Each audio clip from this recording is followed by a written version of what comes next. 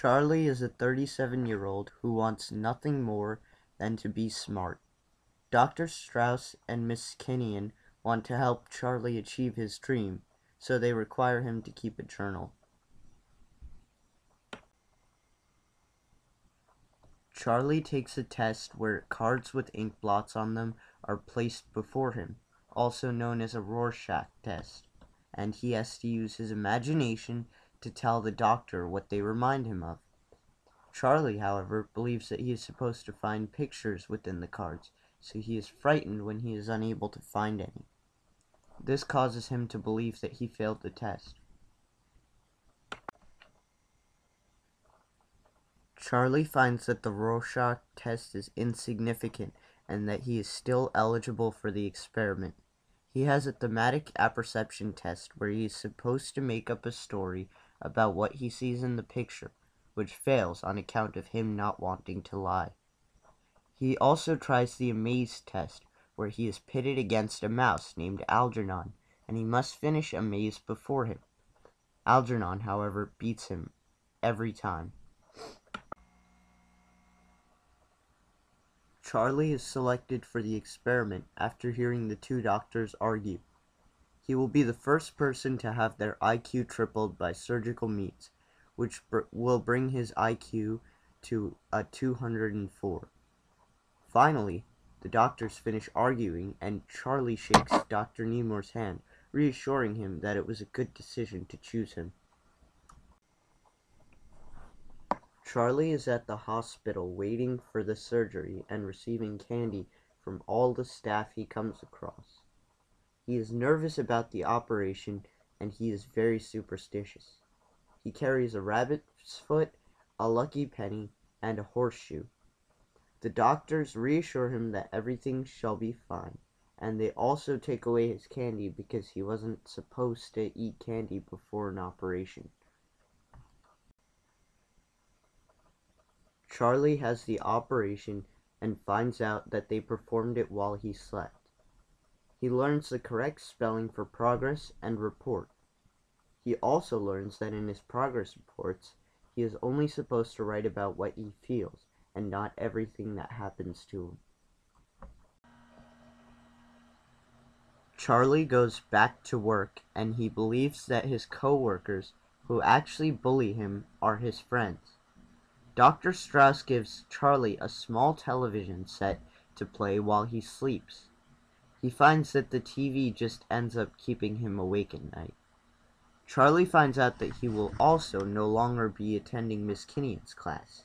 Rather, she will come specially to teach him while he's in the uh, hospital. Charlie learns how to turn the volume down so that he can now sleep. He also finally beats Algernon in a race and befriends him. He starts to read and spell at a higher level by reading Robinson Crusoe. Charlie also tries his hand at punctuation, and after reading a book, he figured out how to use it correctly. When invited to a party by his so-called friends, Charlie learns that he was actually the butt of all of their jokes. He feels, for the first time, ashamed. Charlie still feels upset about being clueless to the harassment he suffered at work. He is beginning to obtain an eidetic memory, or photographic memory, where he can recall certain pages of a book right down to the period. His coworkers seem to be ignoring him, and with no one else to turn to, he asks Mrs. Kinnian to dinner to celebrate his bonus. When asking the doctors for permission, he overhears their arguments and realizes that they see him as an experiment, nothing more. On his date with Mrs. Kinnian, Charles realizes that he has grown affectionate towards her. He is in love with Miss Kinnian. Charles's intelligence boost has spooked his coworkers into signing a petition to fire him.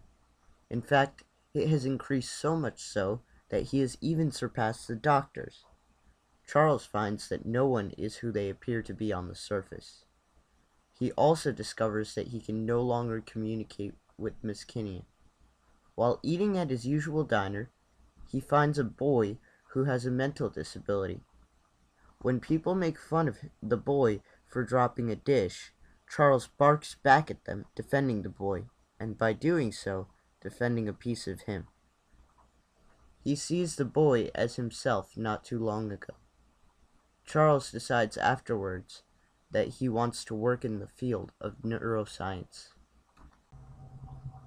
For the first time, Algernon bites Charlie, which is signaling the regression of his increased intelligence. Charlie begins to scramble to find the answer to this decline in mental capabilities.